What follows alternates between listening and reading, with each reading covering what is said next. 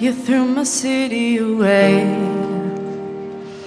You tore down the walls and opened up all the gates.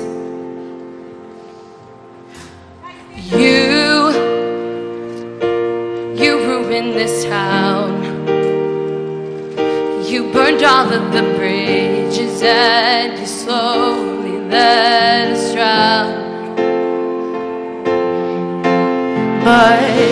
Another very sad day in America, another senseless shooting, this time at a high school in uh, Parkland, Florida, where a gunman, a former student, opened fire yesterday. 2.30, that's when I heard the first gunshot. My friend got shot in the art hall. As soon as I heard the shots, I called my mom.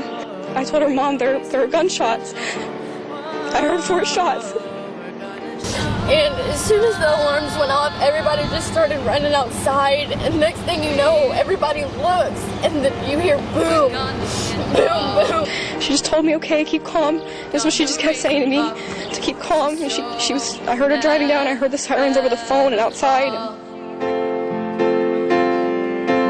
We're done with all your lives. I think anybody who would politicize this shooting should be ashamed of themselves. This is not the time to have the discussion. I'm more than happy to talk about this in a few days. Right now is not the time. There's a time and place for a political debate, uh, but now is the time to unite as a country. We hear it after every incident like this, and we've heard it again today. Now is not the time to talk about how to deal with gun violence. Now is not the time. Think about that. Why is now not the time?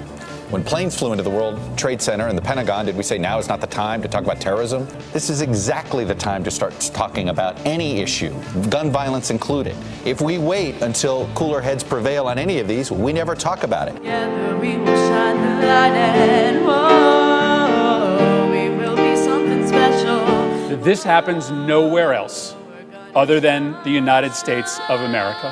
Violence is a big problem. This epidemic of mass slaughter, Too many children are dying.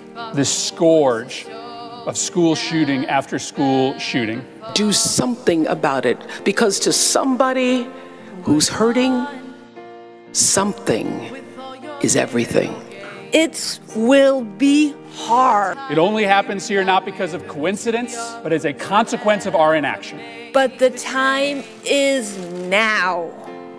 You must act. Not gonna knock us down, we'll get back up again. You may have hurt us, but I promise. Vote.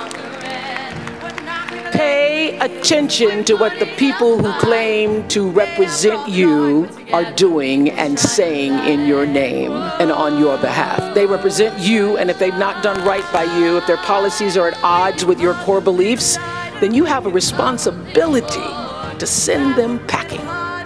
Be bold, be courageous. Americans are counting on you. Fight. We refuse to be ignored by those who will not listen. We deserve to feel safe in our own schools. The time for change is now. The smallest of words can make the biggest difference. Be the voice for those who don't have one. Together, we have the power to change the world around us.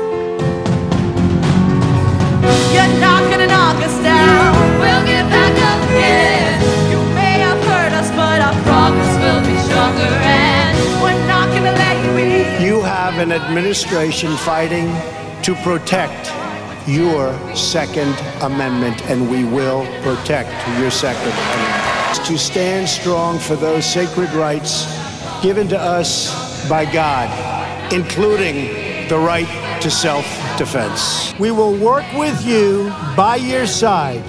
We will work with the NRA to promote responsible gun ownership. Can you tell me right now that you will not accept a single donation from the NRA? My daughter, running down the hallway at Marjory Stoneman Douglas, was shot in the back. Yes, sir. with an assault weapon, the weapon of choice. Yes, sir. Okay? It is too easy to get. It is a weapon of war. The fact that you can't stand with everybody in this building and say that, I'm sorry. There's only one way to look at this. How would you feel and what would you do if these were your children who were killed today? The truth about our democracy is that the people don't make laws. We vote for those who do. Everybody thinks this isn't going to be them. It's never going to be them. And I think that's part of why people don't get out and be politically active. But I urge them. I urge them to get out and do something about it. Call your congressman. Vote. Please, vote. It has been 6 minutes and 20 seconds. The shooter has ceased shooting and will soon abandon his rifle, blend in with the students as they escape, and walk free for an hour before arrest. Fight for your lives before it's someone else's job. We will shine.